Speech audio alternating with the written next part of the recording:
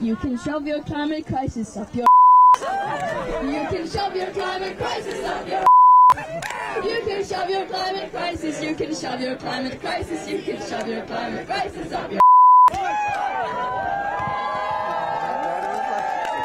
This COP26 is so far just like the previous COPs, and that has led us nowhere. They have led us nowhere. Inside COP, they're just politicians and people in power pretending to take our future seriously, to, pretending to take the present seriously of the people who are being affected already today by the climate crisis.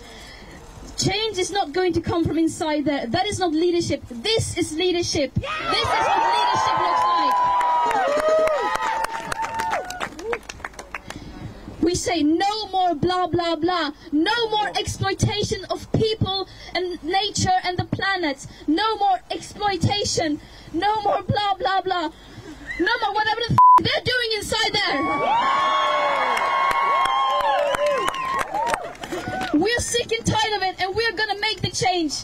Whether they like it or not. Yeah. They have been keep on going for too long.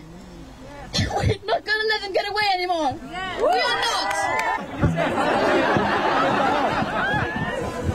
You can shove your climate crisis up your You can shove your climate crisis up your You can shove your climate crisis, you can shove your climate crisis, you can shove your climate crisis up your Say no more blah blah blah. No more exploitation of people and nature and the planet. No more exploitation. No more blah blah blah. No more whatever the they're doing inside